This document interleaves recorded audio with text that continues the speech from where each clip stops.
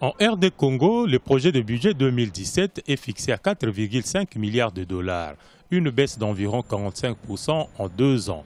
Le budget national avait atteint pour la première fois la barre de 9 milliards de dollars en 2015, une période marquée par une forte croissance économique autour de 10%. Si la chute des prix des matières premières enregistrée au début 2015 est la cause de la baisse du budget 2016, passé de 8 à 6 milliards et moins de 5 milliards en 2017 pour les citoyens rencontrés dans la rue, D'autres raisons l'expliquent.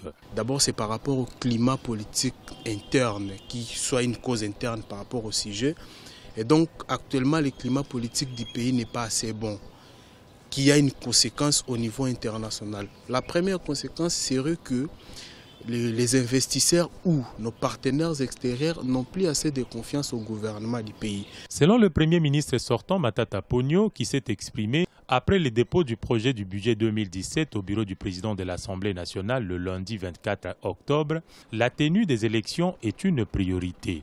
Pour les économistes, cette baisse dramatique du budget national porte un message dangereux pour les pays. Partir d'un budget euh, de 9 milliards à 4 milliards et demi, il faut se poser la question de savoir mathématiquement quel est le message que vous êtes en train d'envoyer aux citoyens. Ça veut dire qu'en fait, vous avez souffert parce que notre budget était très petit par rapport à la taille du pays, au nombre des gens. Eh bien maintenant, nous en avons la moitié. Donc vous allez encore souffrir deux fois plus. Ce budget, euh, déjà avec sa taille, pose problème, mais également dans sa nature des, affectations. Une grande partie sera affectée euh, aux élections.